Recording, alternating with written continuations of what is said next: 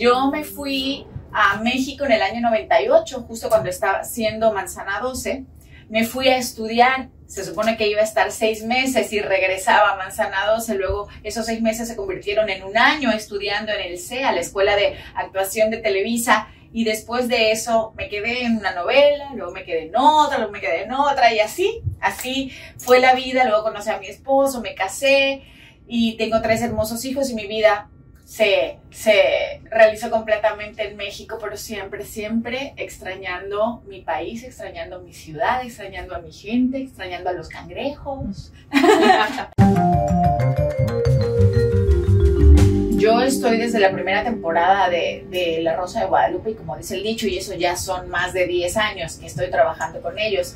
Y es, eh, son equipos de trabajo increíbles, te consienten mucho, te apapachan y tienes la oportunidad de representar muchos personajes porque es un capítulo al día, entonces siempre es algo diferente, así que es una oportunidad muy, muy bonita y muy grande que me dan al formar parte de sus elencos. Ahora también está otra, otra serie que se llama Esta historia me suena y que también empecé a trabajar y durante la pandemia sí, sí, sí se grabó.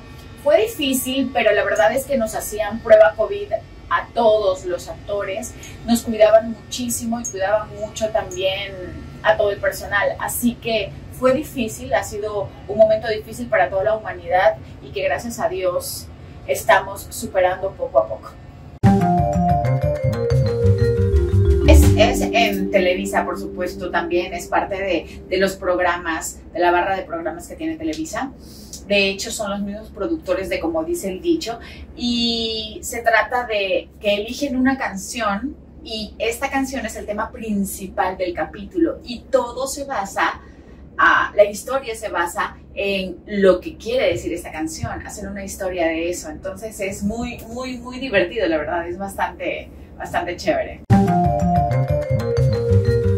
Mira, la verdad es que empecé el TikTok por mi hijo de 6 años. Imagínate, él veía videos de TikTok en, su laptop, en su este, tablet. sí, en su tablet, veía videos de TikTok y él quiso hacer uno que le encantó. Y entonces eso fue lo que sucedió. Gracias a él lo hice, lo hice en la cuenta de mi hija y mi hija me dijo, no mamá, haz la tuya. Y yo, ok, la hago. Entonces la hice y los primeros videos eran con él y me empezó a gustar mucho.